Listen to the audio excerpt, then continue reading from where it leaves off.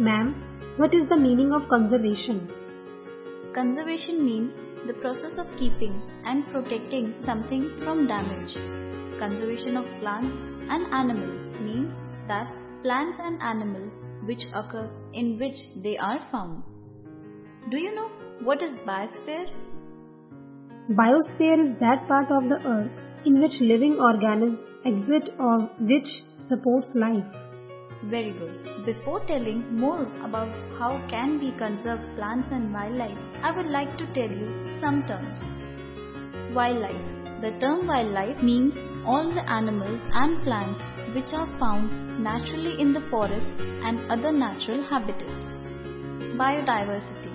It refers to the variety of organisms like plants, animals and microorganisms found in a particular area or habitat. Biodiversity denotes the richness of species in a particular area or habitat.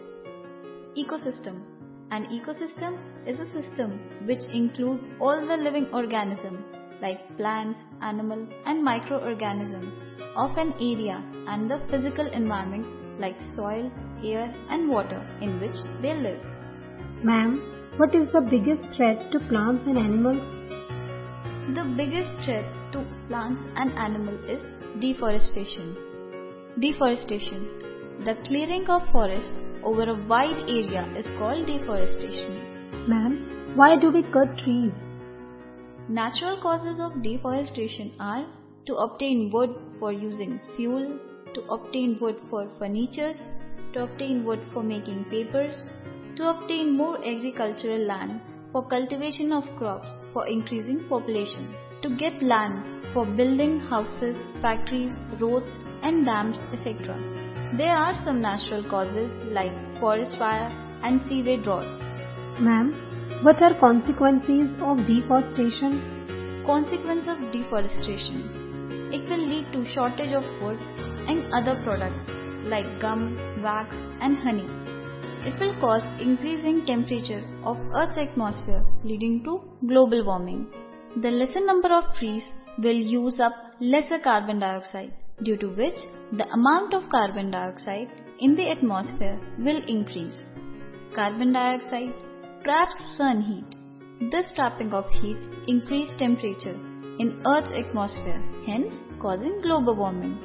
It will cause soil erosion, making the soil infertile and lead to destruction. The root of tree binds the particle of topsoil together. Due to this, these particles are not carried away easily by wind and water. When trees are cut, there are no roots to bind soil and prevent their erosion by strong winds and water. This causes erosion of top layer.